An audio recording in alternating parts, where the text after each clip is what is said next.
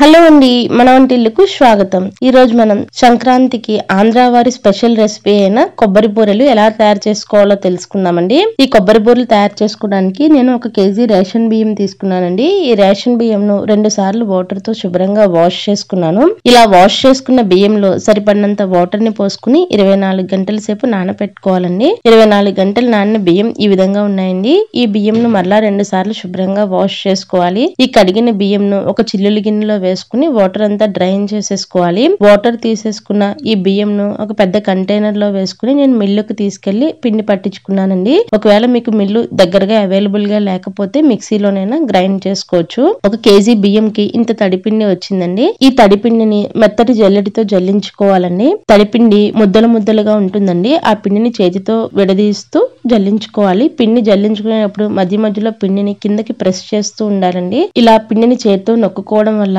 పిండి పొడి ఆరిపోకుండా తడిగానే ఉంటుంది. పిండి జల్లించుకున్న తర్వాత ఈ పిండిని వేరొక ప్లేట్తో కవర్ చేసుకోవడం వల్ల పిండి డ్రై అవ్వకుండా ఉంటుందండి. ఇక్కడ నేను ఒక పెద్ద కొబ్బరికాయని తీసుకున్నానండి. ఈ కొబ్బరిని వాటర్లో వేసుకుని శుభ్రంగా వాష్ చేసుకున్నాను.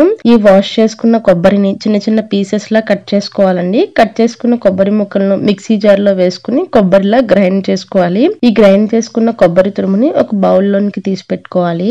ఈ కొబ్బరి బూరలు తయారు చేసుకోవడానికి ఇక్కడ నేను ఫోర్ ఫిఫ్టీ గ్రామ్స్ బెల్లం తీసుకున్నానండి. ఫోర్ ఫిఫ్టీ గ్రామ్స్ బెల్లం కు సుమారుగా సెవెన్ ఫిఫ్టీ గ్రామ్స్ రైస్ సరిపోతుందండి. కానీ మనం బెల్లం నేచర్ని బట్టి ఒక్కోసారి పిండి ఎక్కువ లేదా తక్కువ పడుతూ ఉంటుంది. సో ఇబ్బంది ఏమీ లేకుండా వన్ కేజీ రైస్ని తీసుకున్నాను. ఈ బెల్లంను చిన్న చిన్న పీసెస్ లా చేసుకోవాలండి. ఇలా ముక్కలుగా చేసుకున్న బెల్లంను ఒక లోతుగా ఉన్న గిన్నెలోనికి వేసుకోవాలి. ఈ బెల్లంలో వన్ ట్వంటీ ఫైవ్ ఎంఎల్ అంటే ఒక హాఫ్ గ్లాస్ వాటర్ని యాడ్ చేసుకోవాలండి. ఈ బెల్లంను స్టవ్ మీద ఉంచి వేడి చేసుకోవాలి. మీడియం టు హై ఫ్లేమ్లో ఈ బెల్లంను కరిగించుకోవాలండి. బెల్లం కరిగించుకునేటప్పుడు మధ్య మధ్యలో కలుపుతూ ఉండాలి. బెల్లం కరిగిన తర్వాత స్టవ్ ఆఫ్ చేసేసుకుని ఈ బెల్లం వాటర్ని ఫిల్టర్ చేసుకోవాలండి. ఇలా ఫిల్టర్ చేసుకోవడం వల్ల మనం బెల్లంలో ఉండే డస్ట్ పార్టికల్స్ని రిమూవ్ చేసుకోవచ్చు. ఇప్పుడు ఈ బెల్లం వాటర్ను మరలా లోతుగా ఉన్న బౌల్ లోనికి వేసుకుని వేడి చేసుకోవాలండి. ఈ బెల్లం పాకం ఉడుకుతూ ఉన్నప్పుడు పైకి పొంగుతూ ఉంటుందండి. సో ఫ్లేమ్ని మీడియం టు లో ఫ్లేమ్లోకి అడ్జస్ట్ చేసుకోవాలి.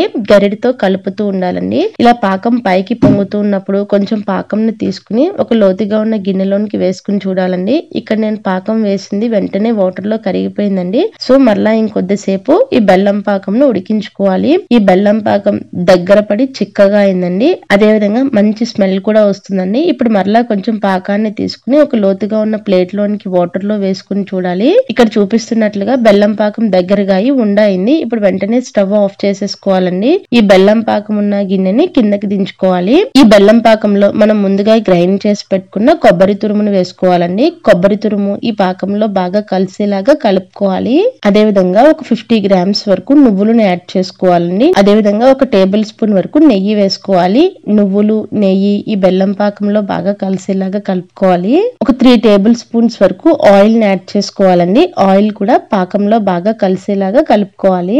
ఆయిల్ బాగా కలిసిన తర్వాత మనం ముందుగా జల్లించి పెట్టుకున్న తడిబియ్య పిండిని కొద్ది కొద్దిగా యాడ్ చేస్తూ కలుపుకోవాలి. ఈ చలిమిడి తయారు చేసుకోవడానికి ఒక్కరే ఉంటే కొంచెం కష్టం అండి ఇలా పిండి వేసుకోవడానికి వేరొకరి హెల్ప్ తీసుకుంటే మనకి చాలా ఈజీగా ఉంటుంది. ఈ పిండి వేసుకునేటప్పుడు అంచుల వెంబడి కూడా పిండి పడుతూ ఉంటుంది కదండి. ఆ పిండిని కూడా తీసుకుంటూ మనం ఈ చలిమిడిలో కలుపుతూ ఉండాలి. పిండిని ఒక్కసారి యాడ్ చేయకుండా కొద్ది కొద్దిగా యాడ్ చేసుకుంటూ మనం ఈ చలిమిడిని తయారు చేసుకోవాలండి. ఇక్కడ కనిపిస్తున్నట్లుగా చలిమిడి తిక్కుగా అయింది కదండి. ఇప్పుడు ఈ చలిమిడిని అంతా బాగా కలుపుకుని ఈ గరిటెతో మనం పైకి తీసుకుని చూడాలి. చేతిని ఆయిల్తో గ్రీస్ చేసుకుని ఈ చలిమిడి చేతిలోనికి తీసుకుని చూస్తే ఉండలా అవ్వాలండి.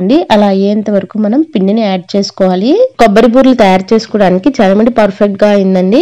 ఇప్పుడు ఈ చలిమిడిలో ఒక త్రీ టేబుల్ స్పూన్స్ వరకు ఆయిల్ని పోసుకుని చలిమిడిని కిందకి ఒత్తుకోవాలండి. ఇలా చలిమిడిని ప్రెస్ చేసుకోవడం వల్ల వేడిపోకుండా ఉంటుంది. ఇప్పుడు డీప్ ఫ్రై కి సరిపడినంత ఆయిల్ పెట్టుకుని వేడి చేసుకోవాలండి. ఆయిల్ వేడెక్కే లోపు ముందుగా సిద్ధం చేసి పెట్టుకున్న చలిమిడిని వేరొక బౌల్ లోనికి తీసుకోవాలండి. చలిమిడిని మనం ఒక్కసారి మూత తీసి కొబ్బరి బూరలు తయారు చేసుకోకుండా ఇలా కొంచెం కొంచెం క్వాంటిటీలో తీసుకోవడం వల్ల చలివిడి చల్లారు చల్లారకుండా గోరువెచ్చగానే ఉంటుందండి. చలిమిడి గోరువెచ్చగా ఉంటే కొబ్బరి బూర ప్రెస్ చేసుకోవడం ఈజీగా ఉంటుందండి. ఇప్పుడు మన చేతిని కొంచెం ఆయిల్తో గ్రీస్ చేసుకుని చలిమిడిని చిన్న చిన్న ఉండల్లా తయారు చేసుకోవాలండి. అదే విధంగా ఒక ప్లాస్టిక్ షీట్ని తీసుకుని దాన్ని కూడా ఆయిల్తో గ్రీస్ చేసుకోవాలండి. ఈ చలిమిడి ఉండను ఈ ప్లాస్టిక్ షీట్ పై పట్టి ఇక్కడ చూపిస్తున్నట్లుగా బూరెలాగా ఒత్తుకోవాలి. ఈ బూరెను ఒకవైపు మందంగా ఒకవైపు పలుచుగా కాకుండా సమానంగా ఒత్తుకుంటే చక్కగా పొంగుతాయండి. ఈ వేడెక్కిన ఆయిల్లో మనం ఒత్తిన కొబ్బరి బూరెను వేసుకోవాలి. చేసుకోవాలి బూరె కొంచెం ఫ్రై అయిన తర్వాత దాని అంతట అదే పైకి వచ్చేస్తుందండి.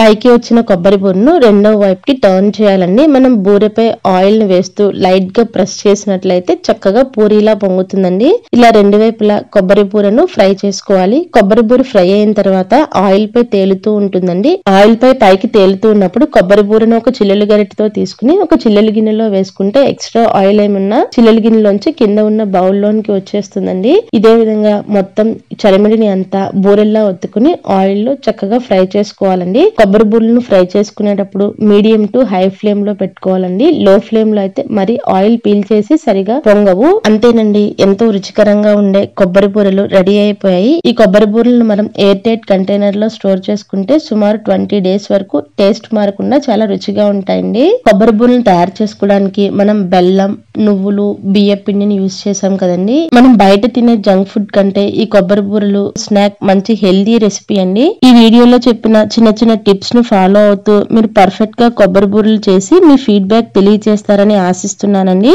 మన వంటిల్లో మీరు ఇంకా చూడాలనుకున్న రెసిపీస్ని కామెంట్ సెక్షన్లో పోస్ట్ చేస్తే ఆ రెసిపీస్ను వీలైనంత త్వరలో అప్లోడ్ చేయడానికి ట్రై చేస్తా అండి. థ్యాంక్ యూ అండి. Thank you for watching